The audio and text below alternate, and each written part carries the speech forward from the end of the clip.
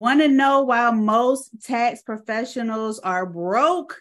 We're going to be getting into this topic in this video, so stay tuned.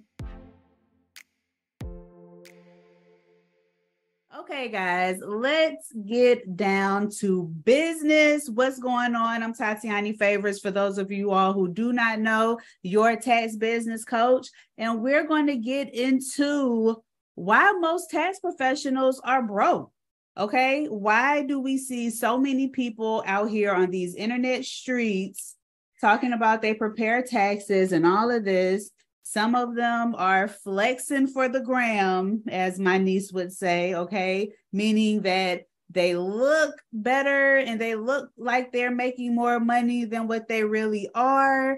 Um, and it's just not the case. So if you are interested in really looking like the money that you're actually making, you definitely want to continue to watch this video because there are a few things along the years of me being a tax business coach over the past eight years and just me being in the taxation industry over the past 18 years that I have noticed in this industry as it pertains to professionals um, and why they just seem like they're not making the money that they want to be making. Okay.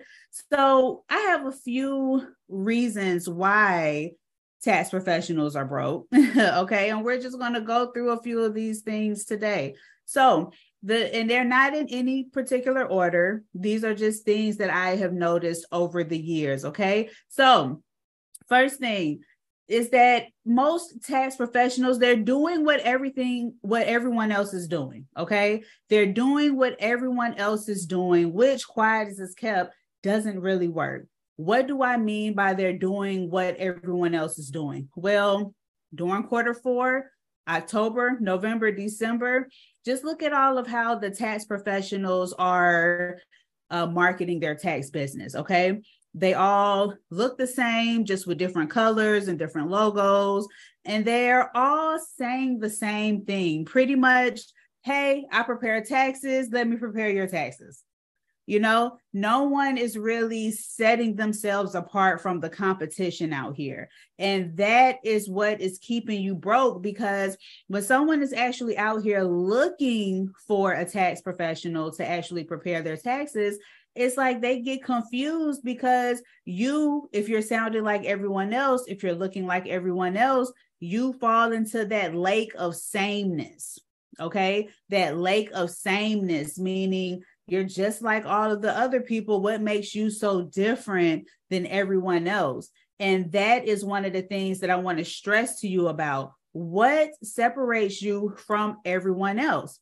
What are your USPs, your unique selling propositions? By identifying your USPs, that can help you not do what everyone else is doing. That can separate you from your competition if you figure out and can effectively tell your audience what what makes you so special, what makes you so unique as it pertains to you preparing people's taxes. Okay. So that's one thing that you can do to not do what everyone else is doing. Also, like I said, quiet is kept. A lot of that stuff that everyone else is doing doesn't really work anyway. So you're copying something that doesn't work. That's why you haven't seen the growth that you want to see in your tax business as well. So there's some tea for you. Okay. Another reason why tax professionals are broke is because they simply don't have the clarity about where they're going. Okay. If you don't have a clear trajectory on where your tax business is going, then you're going to get stuck on a hamster wheel. And what is that hamster wheel? That hamster wheel is getting clients and preparing taxes, getting clients and preparing taxes. Now, can you make a little bit of money doing that? Of course you can. However, you get stuck on this hamster wheel of preparing taxes and and and getting clients you're more busy than progressive. And the goal is to be progressive. The goal is to grow your business in the manner in which you would want it to grow. If you're constantly knee deep in tax returns every tax season yes you're making a little bit of coin but you have no time You have no time for your kids, for your spouse, for other endeavors, for social events. All you have time for is preparing taxes. Okay. And that is a form of broke. If you don't have your time, but you work for yourself, when I say broke, it doesn't always mean financially, it can mean physically, spiritually, mentally, time wise. There are multiple ways of being broke, guys.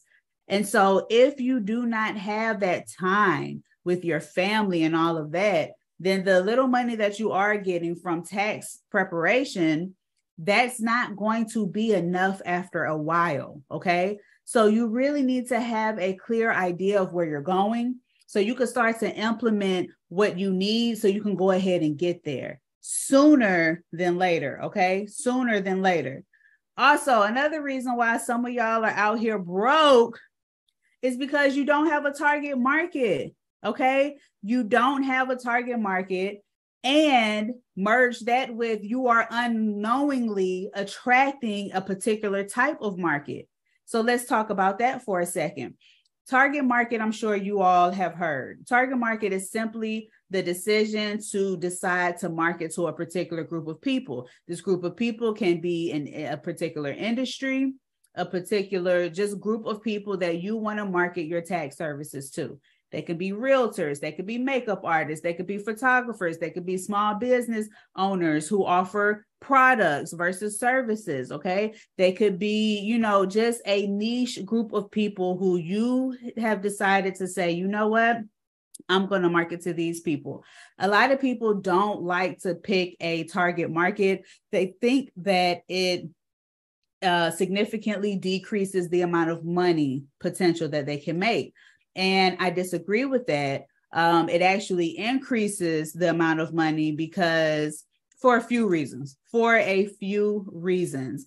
Um, one being word of mouth isn't dead. So if you know a photographer, that photographer knows other photographers, and those people will come to you, okay? Because people like professionals that specialize in something the days of being a what do they call it a jack of all trades and a master of none those days are over okay people want if you're a tax professional they want you to do taxes that's it they don't want to see you selling teas and waist trainers and you're a travel agent from you know uh, um between May and November, and then you do taxes January through April. Like they don't want to see that. Okay. So instead, if you say, Hey, I am a tax specialist for makeup artists. That immediately separates you from all of your other competition who just in their bio or on their website says, Hey, I prepare taxes. Now you have a distinction. So you need a target market. But a lot of you who don't pick a target market, you unknowingly attract a particular type of market just because of how you're marketing. What do I mean? I mean, if you're the person that's marketing like get your max tax refund back, oh, get the highest refund here, you know, get this and that, and your your refund, your your message is constantly um heavy on the refund, then that's a particular type of market right there. Those are the people who are looking for refunds. If typically, if you're going for, let's say you're going for small business owners, small business owners typically understand that breaking even is the ideal situation. They're not looking for a large refund. They just don't want to have to owe a lot of money. Okay. Their mindset as it pertains to filing taxes is definitely different from the person who wants the max tax refund. So while you're sitting here and marketing to, you know, people who want the max tax refund, you're unknowingly attracting that particular type of market. So you're essentially targeting your market anyway, just unknowingly. So now what I want you to do is to attract a target market, but be intentional about it. Okay. Be intentional about it. And that's when you'll start to see you know you get more clients who come back tax season after tax season that's when you'll start to see your bank account increase okay that's what we really want that's when you will start to see significant growth in your tax business when you start to be very intentional about your marketing about your target market about your messaging about how you're presenting yourself whenever and however you're presenting yourself, intentionality is everything. Intentionality is everything. Okay. And one of the last things that I've noticed that why most tax professionals are broke is because you just simply haven't invested in either a personal or professional, you know, coach. You're not interested. I'm not going to say not interested, but you could either not be interested or just simply have not invested in your own personal or professional growth in some type of way whether it's actually getting a coach and joining a program or even getting buying a course getting an ebook investing in your mental mindset shifts how to handle money better how to become a better marketer even if you don't have the money to invest in a coach Okay. There are other things that you can do to prepare your mind. There are other things that you can do to prepare yourself to elevate your business. If you do not have the funds, if you lack funds to invest in yourself, then you have to have an abundance of time and vice versa. Typically, if you lack funds, you have to have some time to be able to go to YouTube University, to be able to read certain books so you can learn. Okay. But if you lack time, you typically have the funds to be able to hire a coach to get you to wherever you need to get to quicker, both on a personal and a professional level, because that is what it's going to take in order for you to become a successful tax business owner and entrepreneur. You have to be constantly growing, both personally and professionally. Okay, guys, like in some type of way. Understand me that you will not maintain the level of money that you want to create for yourself if you do not continue to grow both personally and professionally. You might have the roller coaster of income where you hit it real big and then you go all the way down and you have to climb back up again. I've been there. I've been on that roller coaster. It is not as fun as the roller coasters on Six Flags or at Six Flags, so I don't want it. okay.